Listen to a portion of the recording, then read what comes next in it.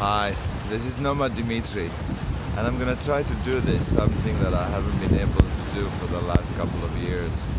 Um, today I woke up in the hotel room in this beautiful city and I went down to have a coffee, and um, I ran into this woman who I had seen the day before. She was a woman from Belgium, and we kind of sat together and had coffee like fellow travelers in a new city, and um, and she had really nice short hair. Um, and I said to her, I really like your hair.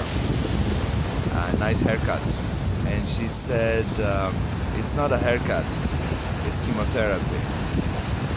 And I looked at her and she looked at me and I said to her, me too.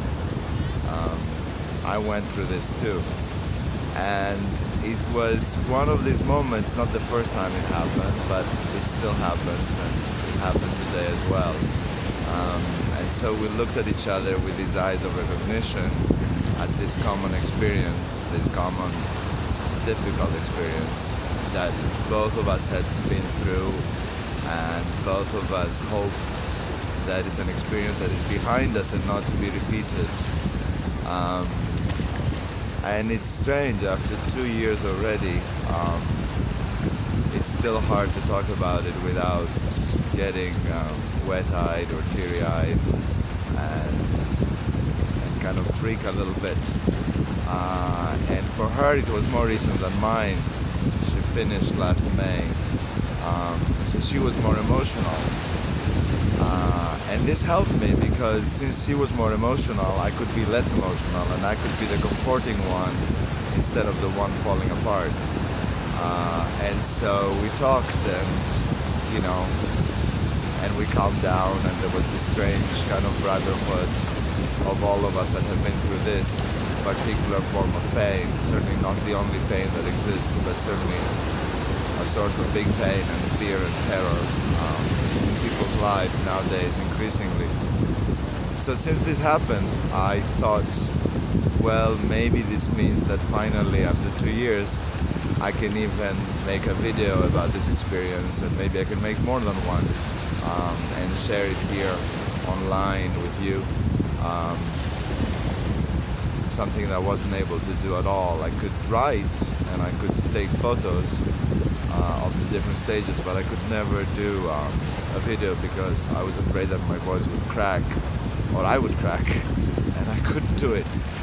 But you know, today, um, a little more, more than two years later, although still in danger, but um, it finishes, the whole thing finishes after five years. So I'm still at two years. Um, a year and a half actually, not two years, I wish. Um, now I can actually do it. I can actually tell you about it on video, and I think I will continue to uh, because I think it's good for me in some ways.